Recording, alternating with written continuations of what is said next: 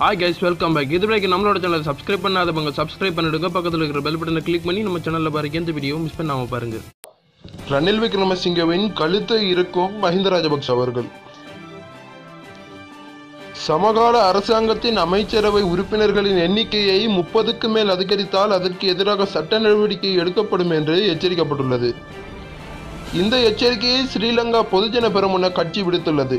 பத்தொன்பதாவது அரசியலமைப்பு திருத்தத்தில் முப்பது என்ற எண்ணிக்கை வலியுறுத்தப்பட்டுள்ளதாக நாடாளுமன்ற உறுப்பினர் ரோஹித அபே குணவர்த்தன ஊடகம் ஒன்றுக்கு தெரிவித்துள்ளார்.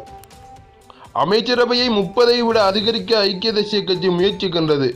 எனினும் பத்தொன்பதில் அதற்கு வாய்ப்பில்லை என்று அபே குணவர்த்தன குறிப்பிட்டுள்ளார். மற்றும் ஒரு செய்தி.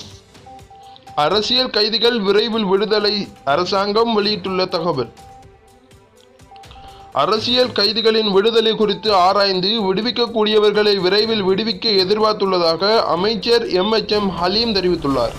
இந்த விடயம் தொடர்பில் மேலும் கருத்து வெளியிட்டுள்ள அவர் தமிழ் தேசிய கூட்டமைப்பிற்கும் ஐக்கிய தேசிய கட்சிக்கும் இடையில் எவ்வித ஒப்பந்தமும் செய்து கொள்ளப்படவில்லை. இதில் மறைப்பதற்கு ஒன்றும் இல்லை.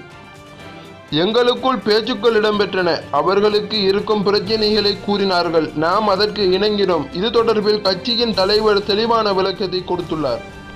அவர்கள் காணி பிரச்சனை அரசியல் கைதிகளின் பிரச்சனை குறித்து கூறினார்கள். இதற்காக அரசியல் கைதிகள் அனைவரையும் உடனடியாக விடுவிக்க முடியாது. இந்நிலையில் அரசியல் கைதிகளின் விடுதலை குறித்து ஆராய்ந்து விடுவிக்கக்கூடியவர்களை விரைவில் விடுவிக்க எதிர்பார்த்துள்ளதாக அமைச்சர் மேலும் கூறியுள்ளார். தகவல்களை தெரிந்து கொள்ள நம்மளோட சேனலை சப்ஸ்கிரைப் பண்ணுங்க. பக்கத்தில் இருக்கிற பெல் பட்டனை கிளிக் பண்ணி நம்ம சேனலில் வேறு எந்த வீடியோ மிஸ் பண்ணாம பாருங்க. இந்த வீடியோ பிடிச்சிருந்தால் லைக் பண்ணுங்க கமெண்ட் பண்ணுங்க ஷேர் பண்ணுங்க. நன்றி.